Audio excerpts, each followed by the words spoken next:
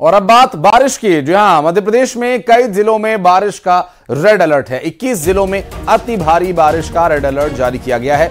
विदिशा, रायसेन, सीहोर, नर्मदापुरम, हरदा, गुना, अशोकनगर में अति भारी बारिश को लेकर अलर्ट जारी किया गया है। सिवनी में आज सभी स्कूल्स में छुट्टी घोषित कर दी गई है और मंगलवार को सिवनी में नौ घंटे बारिश हुई थी और इस नौ घंटे में 6.3 इंच बारिश दर्ज की गई है और आज भी कई जिलों में 21 जिलों में लगभग अति भारी बारिश की जानकारी मिल रही है। तो भोपाल में भी झमाझम बारिश का दौर जारी है और ये अभी कुछ समय तक ऐसे ही बारिश होते रहने की जानकारी मिल रही है।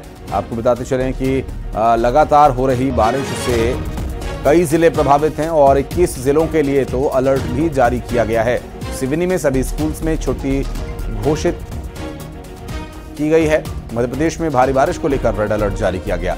गुना अशोकनगर में भी अति भारी बारिश को लेकर अलर्ट जारी किया गया। सिवनी में आज सभी स्कूल्स में छुट्टी घोषित की गई है। मंगलवार को सिवनी में छह दशमलव तीन इंच बारिश हुई है और बीते रोज लगभग नौ घंटे तक मूसलाधार बारिश होती ही रही और ऐसे में नदी नाले पूरी तरह से उफान पर हैं। विदिशा, रायसेन, सीहोर, नर्मदापुरम, गुना, अशोकनगर में अति भारी बारिश को लेकर अलर्ट जारी किया गया है और आज सिवनी में स्कूल्स में छुट्टी भी घोषित की गई है। साथ ही कई अन्य जिलों में भी स्कूल्स की छुट्टी घोषित कर दी गई है। भारी बारिश को देखते हुए चूँकि बच्चे जब इस तेज बारिश में स्कूल के लिए निकलते हैं तो कई बार नदी नाले रास्तों में पड़ते हैं और ऐसे में जान जोखिम में डालकर नदी नालों को व्यापार करते हैं। और कई बार पुल के ऊपर से बह रहे पानी में से भी हमने स्कूल के बच्चों को जाते हुए यहाँ इसी स्क्रीन पर तस्वीरों में देखा है। क्योंकि लगातार बारिश का दौर अभी कुछ समय और जारी रहेगा तो देखना ये होगा कि आने वाले रोज़ में क्या स्कूल्स की छुट्टियाँ रहेंगी और इसका क्या प्रभाव रहेगा? बात करेंगे हमारे सहयोगी शैलेंद्र भदौरिया हमारे साथ भोपाल से, श्रीनिवास चौधरी बालाघाट से तो कृष्णा साहू मंडला से अपडेट देंगे। फ़िलहाल चलते हैं भोपाल में, जहाँ इस वक्त झमाझम बारिश का दौर जारी है। शैलेंद्र। बिल्कुल न केवल राजधानी भोपाल, बल्कि मध्य प्रदेश के 21 जिलों में भारी बारिश का अलर्ट जो है मौसम विभाग ने जारी किया। राजधानी भोपाल में भी पिछले 24 घंटे से लगातार जो है बारिश देखने को मिल रही है। उसका नतीजा ये हुआ कि बड़े तालाब के जो है वो लवालब हो गया। उसके बाद भदभदा डैम और कलिया सोत डैम के जो है जो गेट खोलने पड़े इस वक्त मैं। कलिया सोत डैम पर मौजूद हूँ। आप तस्वीरों में जिस तरीके से देख तक, देख सकते हैं कि दो गेट जो है, वो कलिया सोत डैम के खोले गए हैं। और न केवल भदभदा कलियासोत इसके अलावा केरबा और कोलार डैम के भी गेट खोलने पड़े हैं, क्योंकि लगातार जिस तरीके से राजधानी में बारिश हो रही है, उससे जो है वो बड़े बड़े तालाब का जलस्तर लगातार बढ़ता चला जा रहा है। और देखिए, लगातार जो बारिश से मध्य प्रदेश के अलग अलग हिस्सों से इस तरह की तस्वीरें सामने आ रही है कि लोगों को परेशानियों का सामना करना पड़ रहा है। यही कारण है कि कुछ इलाकों में स्कूलों की छुट्टियाँ भी की गई हैं। कार्यालय के समय में भी बदलाव किया गया है। तो तमाम जो इंतज़ाम है, वो प्रशासन की द्वारा तरफ़ से लगातार किए जा रहे हैं। लेकिन जिस तरीके से हैवी रेन मध्य प्रदेश में देखने को मिल रहा है, इससे ये जो इंतज़ाम थे, वो नाकाफी साबित हो रहे हैं। हालाँकि मौसम विभाग की माने तो ये तीन दिन का अलर्ट था। आज इसका दूसरा दिन है, लेकिन आने वाले समय में और दूसरे सिस्टम भी मध्य प्रदेश में डेवलप हो रहे हैं, जिसके चलते आने वाले समय में भी इसी तरह की बारिश का सामना मध्य प्रदेश वासियों को करना पड़ेगा। फ़िलहाल जो है वो आज ये तीन दिन का अलर्ट था, जिसके चलते लगातार मध्य प्रदेश के अलग अलग हिस्सों में बारिश देखने को मिल रही है और जल भराव की स्थितियाँ जो है मध्य प्रदेश के कई हिस्सों में हो चली है जिससे कि लोगों को खासी परेशानियों का सामना भी करना पड़ रहा है। जी। और शैलेंद्र जो तस्वीरें दिखाई दे रही हैं उससे साफ़ अंदाज़ा लगाया जा सकता है कि बारिश का आलम क्या हो रहा है। और अब बात करेंगे श्रीनिवास चौधरी हमारे सहयोगी बालाघाट से मौजूद हैं उनके पास भी चलेंगे। श्रीनिवास क्या स्थिति है फ़िलहाल बालाघाट में बारिश की? देखिए बालाघाट ज़िले में लगातार 24 घंटे से बारिश हो रही है। बारिश होने के कारण नदी नाले जो उफान पे हैं और जो छोटे और निचले इलाके हैं, वहाँ पे पानी भर गए हैं। इसके साथ ही जितने ही पुल पुलिया है, उस पर पानी आ जाने के कारण मुख्यालय संपर्क टूट गया है।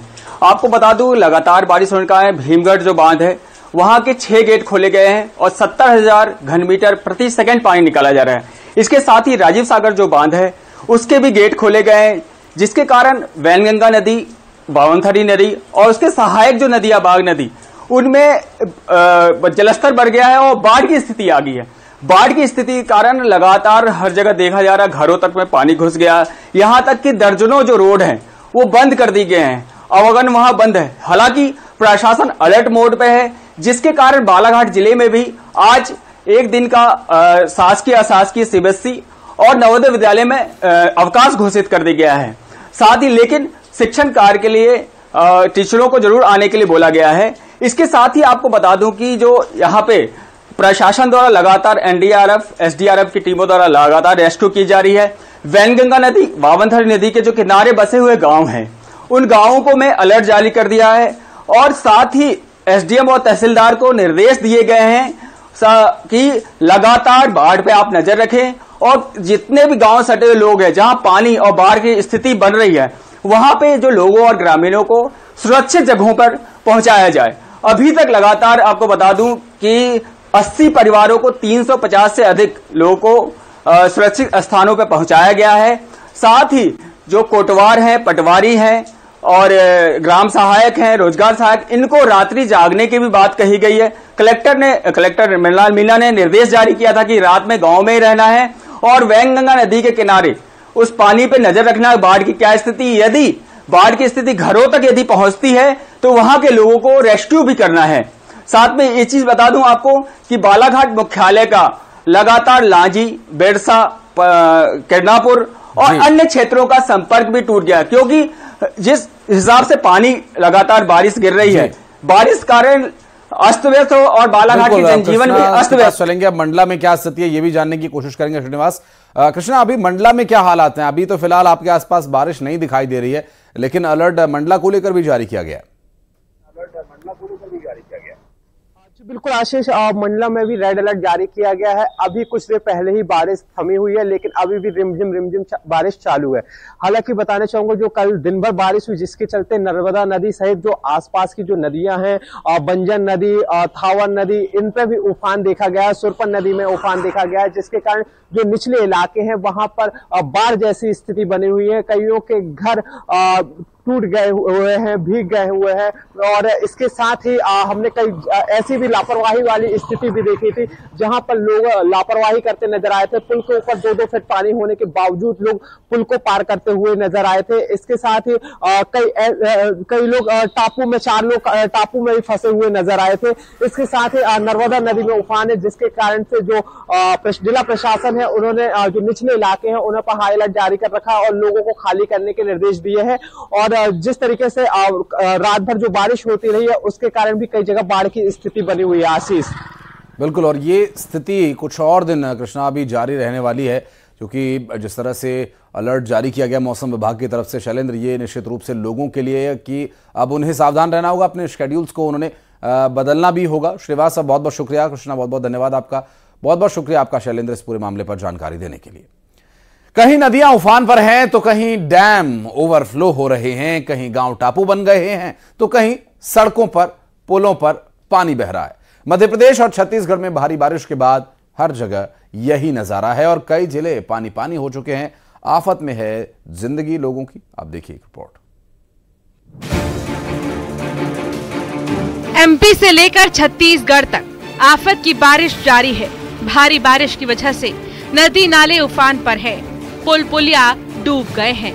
सीहोर में पिछले तीन दिनों से रुक रुक कर लगातार बारिश हो रही है, जिसकी वजह से ज़िले से होकर बहने वाले तमाम नदी नाले उफान पर हैं। झमाझम बारिश के बाद ज़िले के कोलार डैम का जलस्तर बढ़ गया है। डैम का जलस्तर नियंत्रित करने के लिए डैम के दो गेट खोले गए हैं। गेट नंबर चार और पाँच से 50-50 सेंटीमीटर पानी रिलीज़ किया जा रहा है। बुरहानपुर में भारी बारिश के बाद ताप्ती नदी का जलस्तर बढ़ गया है। ताप्ती नदी उफान पर होने की वजह से तटीय इलाकों में बाढ़ की आशंका जताई जा रही है, जिसे देखते हुए जिला प्रशासन अलर्ट मोड पर है। तटीय इलाकों में नदी के घाट पर एसडीआरएफ की टीम को तैनात किया गया है। निचले इलाके के लोगों को नदी के किनारे जाने से परहेज करने की सलाह दी गई है। सिवनी में भी पिछले 12 घंटे से रुक रुक कर बारिश का दौर जारी है। जिसकी वजह से ज़िले से होकर बहने वाली वैन गंगा नदी उफान पर है। नदी का जलस्तर बढ़ने की वजह से लखनवाड़ा घाट पूरी तरह से डूब गया है, जिसे देखते हुए आसपास के क्षेत्रों में अलर्ट जारी किया गया है। लगातार जारी बारिश और नदी में आए उफान की वजह से लोगों का जीवन बुरी तरह प्रभावित हुआ है। शहर के तिलक वार्ड और विवेकानंद वार्ड की निचली बस्तियों में पानी भर गया है। स्थानीय लोगों का आरोप है कि रेलवे के नाले का सही ढंग से निर्माण नहीं होने की वजह से बारिश का पानी उनके घरों में घुस गया है। सिवनी से विधायक दिनेश राय बाढ़ प्रभावित इलाकों का जायजा लेने पहुँचे और उन्होंने स्थानीय लोगों से बातचीत भी की। बैतुल के घोड़ा डोंगरी ब्लॉक में भारी बारिश से ज़िले से होकर बहने वाली तवा नदी उफान पर है। लगातार बारिश के बाद सतपुड़ा डैम भर चुका है। डैम का वाटर लेवल मेंटेन करने के लिए डैम के सात गेट खोले गए। डैम से करीब तेरह हज़ार क्यूसेक पानी प्रति सेकंड छोड़ा जा रहा है डैम से पानी छोड़े जाने के बाद तटीय इलाकों में अलर्ट जारी किया गया है, जबकि तवा नदी में उफान की वजह से नदियों का जलस्तर बढ़ गया है और साथ ही घाट डूब चुके हैं बालाघाट ज़िले में पिछले 24 घंटे से लगातार बारिश का दौर जारी है, जिसकी वजह से ज़िले से होकर बहने वाले सभी नदी नाले उफान पर हैं। कई जगहों पर बाढ़ का पानी सड़क पर आने की वजह से दर्जनों गाँव का जिला मुख्यालय से संपर्क टूट चुका है। भीमगढ़ डैम भी भर गया है, जिसके बाद डैम के मुख्यालय से संपर्क टूट चुका है। छत्तीसगढ़ भी भारी बारिश से बेहाल है। रायपुर के डूमर तराई में भारी बारिश से चार मकान गिर गए। हालाँकि हादसे में कोई जनहानि नहीं हुई। शहर के कई इलाकों में जल जमाव भी हो गया है। पिछले कई घंटों से हो रही लगातार बारिश ने रायपुर को जलमग्न कर दिया है, जिसके बाद कमिश्नर निरीक्षण के लिए निकले और अधिकारियों को जल भराव से निपटने के निर्देश दिए गए। कोंडागांव में भारी बारिश से धनौरा, धुरवापारा पुलिया का रिटेन वॉल बह गया, जिसके बाद केशकाल एसडीएम और एसडीओपी मौके पर पहुँचे। कांकेर में भारी बारिश लोगों के लिए आफत बनकर आई है। चारामा ब्लॉक के सिरसिदा गाँव के नाले का पुल बारिश में बह गया। इससे लोगों का आना जाना मुश्किल हो गया। दो बाइक सवार इसी नाले में बह गए। हालाँकि दोनों को सुरक्षित बचा लिया गया। चरामा ब्लॉक में महानदी भी उफान पर है। माहूद गाँव के स्कूल में पानी घुस गया है। प्रशासन ने स्कूलों में छुट्टी कर दी है। बलौदाबाजार में तहसील कार्यालय के परिसर नहीं भर चुका है। ज़िले में लगातार बारिश से कई जगहों पर बाढ़ जैसे हालात बने हुए हैं। धमतरी में भारी बारिश से गंगरेल बाँध भर गया है। बाँध में एक लाख अठारह हज़ार क्यूसेक पानी भर चुका है। अब बाँध से महानदी में पानी छोड़ने की तैयारी चल रही है। जल्द ही बाँध के गेट खोले जा सकते हैं। प्रशासन ने नदी के किनारे बसे गाँव में मुनादी करवाई है।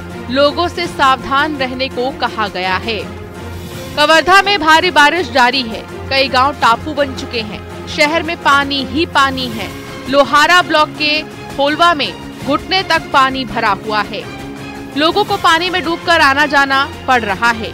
प्रशासन ने लोगों से सावधानी बरतने की अपील की है। Bureau report, news eighteen.